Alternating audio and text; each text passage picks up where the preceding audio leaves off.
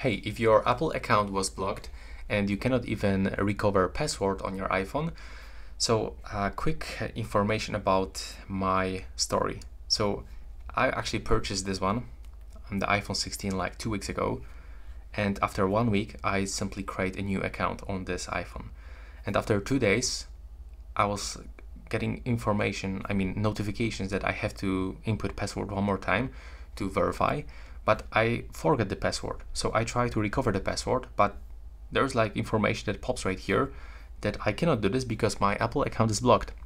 So I end up to, I, I mean, I end up with completely blocked iPhone because I perform a hard reset by using a MacBook. And now I cannot use this device at all.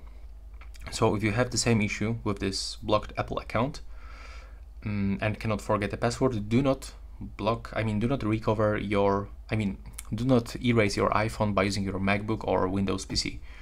So all you have to do is just to still using your device.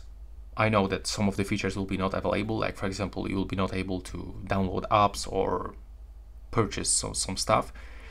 Mm, but still you will be able to, you know, make phone calls, make some notes, browse internet and stuff like this.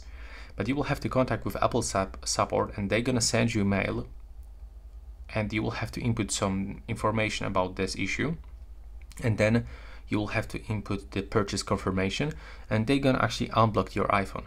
But uh, what is like really strange that in my case they actually refuse. They say that they don't gonna actually unblock my iPhone. They don't gonna actually remove this locked from my iPhone and they actually didn't even include any reason for this. So I was actually I'm actually with a contact uh, with the store when I actually when I purchased this device, and they told me that there's no problem for them.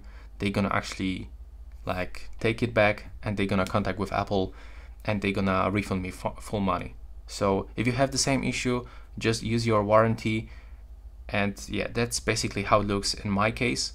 So that's like really strange. I was also reading a lot of information on the Reddit and under some YouTube videos and sometimes this uh, this actually pops uh, this issue that actually people are blocked by uh, by Apple and they cannot do anything with their iPhones.